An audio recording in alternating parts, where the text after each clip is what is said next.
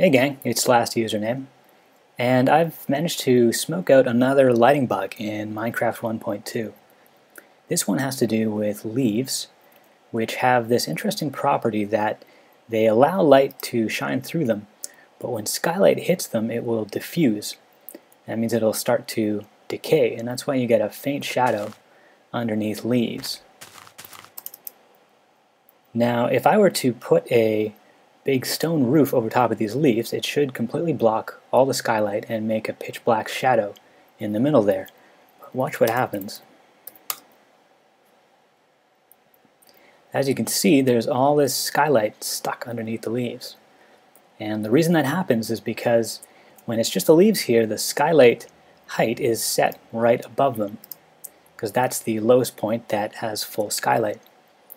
Um, but when I place the stone up there, it moves the skylight height from here up to here, and it erases all the skylight between here and here. But it doesn't reset any of the skylight that's underneath the leaves. So basically it assumes that skylight doesn't shine below the skylight height, and that, of course that's not true. Uh, you'll also find this bug with ice and water, which are other blocks that skylight can shine through but it gets diffused.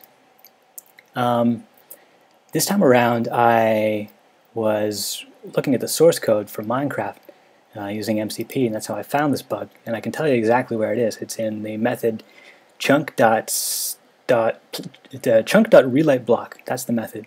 Um, it should be pretty easy to fix, but uh, if Mojang sees this video and they want any more information from me, uh, just shoot me a PM on Reddit or on YouTube, and I'll be happy to help you out.